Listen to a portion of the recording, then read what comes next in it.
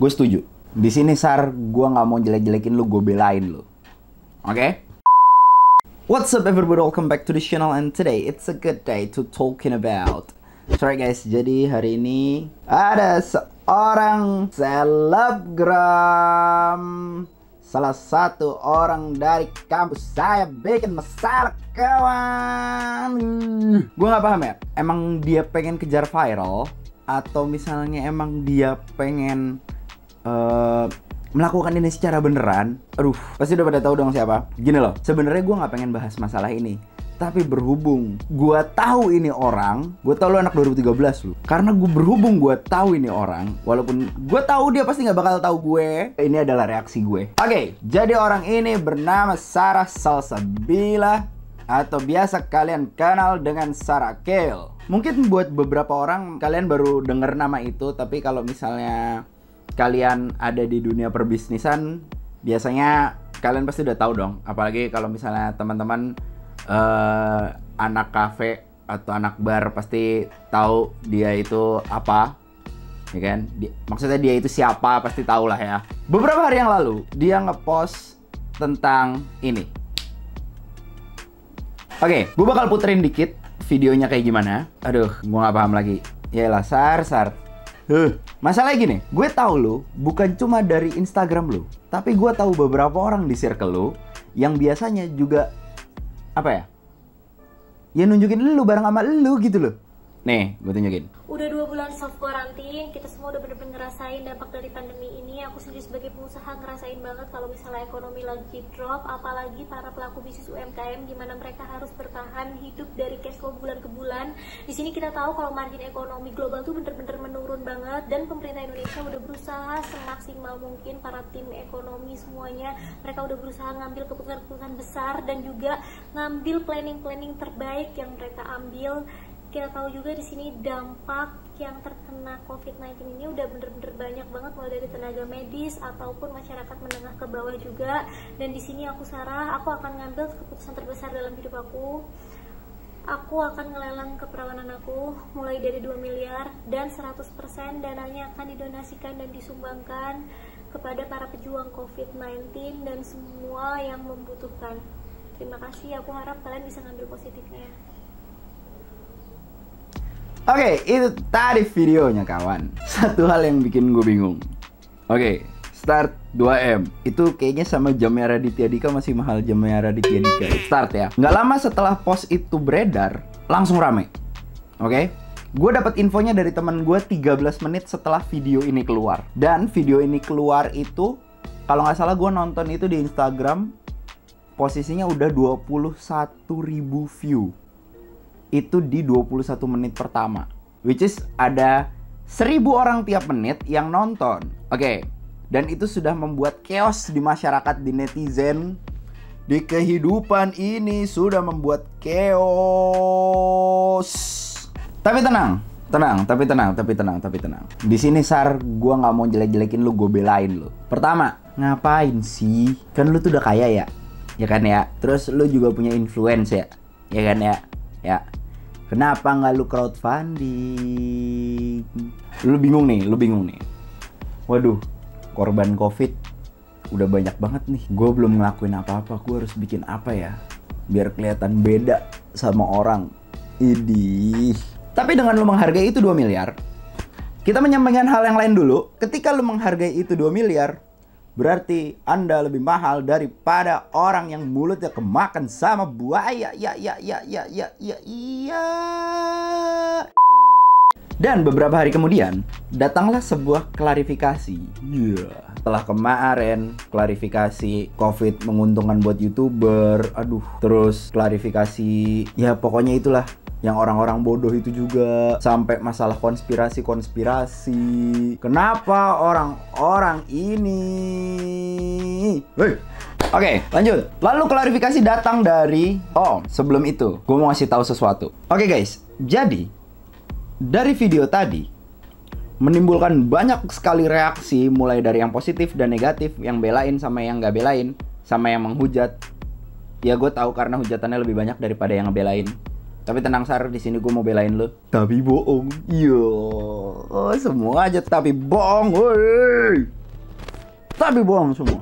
Oke, banyak sekali respon dari orang-orang. eh, mulai dari gitu sampai gue notice satu respon dari orang ini.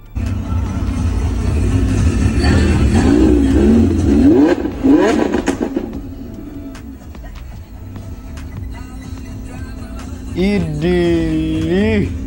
Nasihat saya kepada para laki-laki, jangan mau terima lelang, jangan mau ikut lelang atas adanya undangan lelang oleh seorang selebgram yang mau melelang keperawanannya seharga 2 miliar. Katanya untuk disumbangkan kepada korban corona. Ini hanya dugaan, hati-hati aspek hukum undang-undang ITE seperti kasus ikan asin 7 tahun penjara dan juga apabila kegadisannya ternyata tidak gadis, apabila ya dugaan ya bisa 378 KUH pidana dugaan penipuan 4 tahun penjara. Laki-laki ditentukan oleh Harisma Wangi. Casablanca yang selalu saya pakai Casablanca sangat menentukan Harisma laki-laki bukan hanya uang, badanmu harus tetap wangi. Casablanca.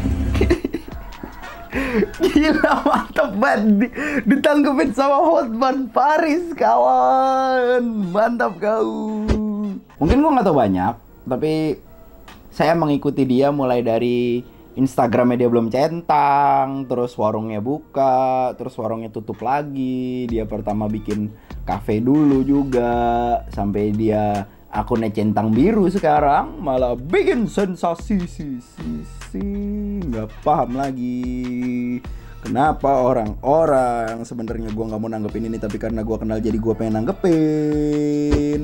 Beberapa hari kemudian datanglah tanggapan ini. Dia membuat klarifikasi.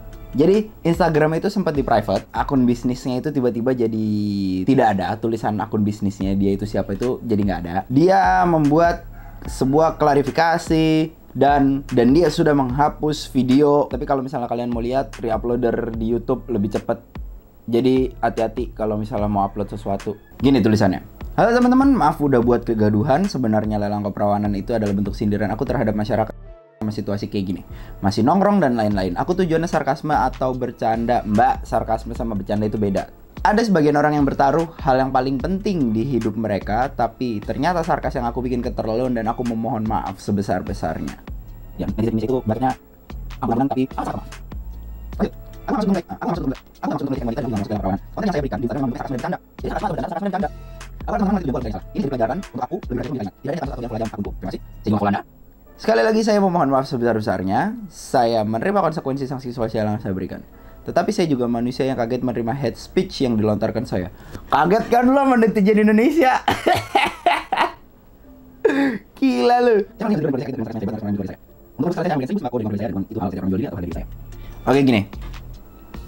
Eh di satu sisi kalau misalnya ini adalah bentuk sarkasme pure, gue setuju. Kenapa gue setuju? Karena gini, ketika lu, ketika lu eh, melakukan sarkas kepada orang dan orang yang merasa tersindir, berarti sarkasme lu kan berhasil gitu loh. Dan ini adalah sarkasme yang sebenarnya gila sih. Gila. Ini tapi guys, kalau misalnya ini beneran, ini bakal jadi pertukaran antara kecantikan dan kekayaan. Seperti yang dikatakan oleh Jenudin kepada Hayati dalam suratnya. Ini hanya perkawinan harta dan perkawinan kecantikan. Tidak. Tidak saya percaya bahwa kau begitu kejam dan ganas. Hayati, apabila kau memang mencintai dirinya. Apa ya gue lupa. Di sini lu hanya berbicara lu. Di situ yang gue suka. Jadi lu nggak perlu marah-marah, lu nggak perlu teriak-teriak. Lu bahkan tidak membuat konten humor di sini. Ya kan? Yang jatuhnya bercanda. Jadi orang itu percaya kalau ini tuh real. Ketika lu membuat sebuah keputusan dan netizen itu berkomentar, padahal belum tentu tahu kebenarannya kayak gimana. Ngomong aja dulu gitu kan. Sama kayak halnya sebuah drama Korea yang diincar sama netizen Indonesia, aktrisnya kan gila itu namanya. Lu pada nggak tahu apa kalau misalnya drama Korea itu semuanya skenario, ada skripnya, termasuk orang yang ngeprank-ngeprank di luar itu sebenarnya semuanya skrip gila. Untuk Mbak Sarah apa ya gue manggilnya kak Mbak. Ya karena dia orang Jawa Timur gue panggilnya Mbak aja ya. Karena Mbak Sarah sudah melakukan hal ini gue tahu gue cuma youtuber yang tidak kayak lo tidak sekaya lo dan mungkin belum sebaik lo gitu ya mungkin. Tapi di sini gue mau ngasih saran buat teman-teman. Sebenarnya kita itu lagi nggak ngelawan covid doang. Lu tau gak sih kalau misalnya di Amerika itu udah sampai ada hashtag covidiot covid plus idiot. Jadi yang kita lawan adalah covid dan kebodohan. Jadi mana yang mau menang lebih dulu? Tapi kayaknya kebodohan udah dari zaman dulu deh. Sudah dari zaman Budi Utomo. Ibu Kartini memperjuangkan hak belajar untuk para wanita. Tapi masyarakatnya masih begitu sampai sekarang